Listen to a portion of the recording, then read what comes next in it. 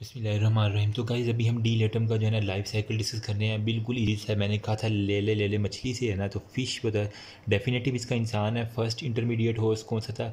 Cyclops था क्रिस्टिशन था second वाला कौन सा था? फ्रेश वाटर के फिशेज़ थे, ठीक है? बस ये बातें आपको याद है तो आप लाइफ साइकिल खुद भी बना सकते हैं। एग का मैंने बता दिया था ओपरकुलम होता है नॉब होती है, दरमियान में एमरियो होता है।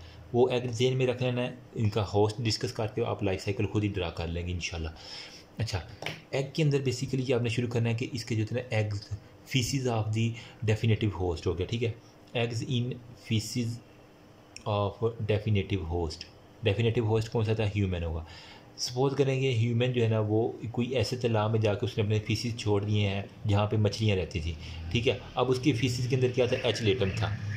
अब वो फीसिस जो है ना, ठीक है इमेच्योर एग्स ये जो थे ना इमेच्योर एग वो डिपॉजिट हो गए इन दी फ्रेश वाटर ये इमेच्योर एग्स है ना, ये कहाँ पे आएँगे?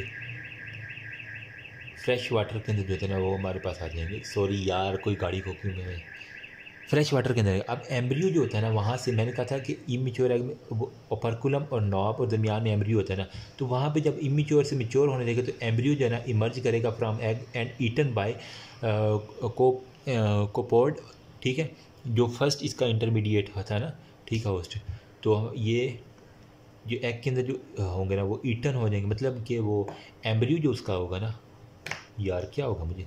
ईटन अप बाय कॉपोड या फिर मैंने कहा था क्रस्टिशियन इसका होता है, ठीक है? तो इनकी, इनसे वो खाया जाएगा, वो खा लेंगे इसको। फिर एम्ब्रियो जो होता है ना, वो किसके अंदर हो जाएगा? प्री प्रो केरिकॉइड लार्वे के अंदर जो है ना, वो तब्दील हो जाएगा लार्वा एक बन जाएगा। सही है? Embryo from larvae in body cavities of the copepod copepod की बॉडीज़ के अंदर जो है ना, ये प्रिकॉइड लार्वे हो जाएँगे।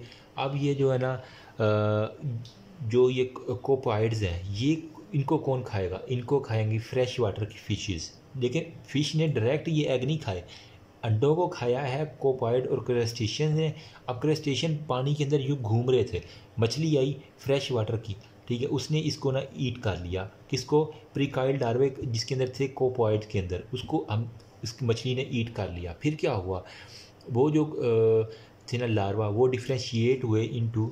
ये जो लार्वा हमारे पास था ना, जब मछली ने खा लिया, मछली ने अपना डाइजेस्टिव सिस्टम एक्टिवेट किया तो इसने इसको कन्वर्ट कर दिया प्रेली क्योराइड के अंदर, ठीक है? प्रेलिकोराइड के अंदर जो है इसने कन्वर्ट कर लिया मसल्स ऑफ़ द फ़िश के अंदर, ठीक है? जो मछली के मसल्स है ना, उसके अंदर जो है ना प्रेलिकाइड्स की फॉर्म में ये आ गया है। अब इसको जो है ना, किसी जो है ना वो बर्गर बच्ची ने जो है ना वो पकाया है मतलब मम्मी डैडी किसी लड़की ने जो है मछली पकाने का बड़ा शौक है नया नया और उसने कच्ची पक्की मछली पका लिया, यूँ कह लें, ठीक है? मतलब कि रा या अंडर कुकड फ़िश जो है ना, इसका मेन सोर्स है। इसीलिए जो चीज़ पकाओ, अच्छे से आजकल पकाओ। मतलब जो अंडर कुकड फ़िश या फिर रा फ़िश आप कह लें, ठीक है, जो अच्छे से ना पकी हो मछली, उसके अंदर फिर क्या होगा? प्रेलिकोराइड लार्वा होगा ना सारे का सारा, ठीक है? ये लार्वा अभी इसी के अंदर मौजूद है। अगर अच्छे से पकाती वो बर्गर बच्ची तो अच्छे हो जाना था। अब ये क्या होगा? प्रेलिकोराइड लार्वे जो है ना, वो चेंज हो जाएँगे इनटू दी अडल्ट वर्म जो ही वो रा फ़िश हम खाएगा ह्यूमन ठीक है? तो ह्यूमन के अंदर ये जाके अडल्ट वर्म के अंदर ये चेंज हो जाएगा। ठीक है? ह्यूमन इंटेस्टाइन के अंदर। वो ही जो है एग वो फीसिस के अंदर फिर आ जाए एग की फार्म में आ जाएगा। और एग जो है ना फीसिस की फार्म में। ठीक है? फीसिस से फिर वो जो इमेच्योर एग्स जो है ना, वो वाटर के अंदर पानी पानी से कोपाइड और प्री स्क्राइड लार्वे की फार्म में आ जाएगा, वहाँ से फिर मछली खा लेगा। वो साइकिल सारे का सारा इजी है, बिल्कुल कोई मुश्किल की फार्म नहीं है इसकी। सही है, ये था आसान सा साइकिल जो मैंने आपके साथ शेयर करने था। ब्लड एग्जामिनेशन में वही है कि हमने जो है ना, इसका ब्लड एग्जामिनेशन करेंगे तो हमें उस पेशेंट का से नीमिया नज़र आएगा, ठीक है? वो पेशेंट भी डॉक्टर साहब मैंने मछली बहुत खाता हूँ, ठीक है? और मुझे तो आप देखेंगे उसको गैलो ब्लास्टिक नीमिया भी होगा, ठीक है? मतलब एक वो प्रीनीशियस और मगैलोब्लास्टिक में मगैलोब्लास्टिक में क्या होता है, वो हो जाते हैं ना स्वेल अप हो जाते हैं or I think vitamin B twelve की डेफिशिएंसी और बी नाइन की डेफिशिएंसी हो जाती है ना। ठीक है? प्रीनीशियस के अंदर भी इसी तरह होता है सारे का सारा। तो ये था इमेच्योर यानी आर बनते हैं। तो ये था का सारा का था। डी लेटम के बारे में होप्स हो कि आपको कुछ ना कुछ समझ आ गई होगी। बाकी आप बुक से पढ़ेंगे तो इंशाल्लाह समझ आ जाएगी। If you have any query you can ask me thank you so much जजाकल्ला remember me all send your precious prayer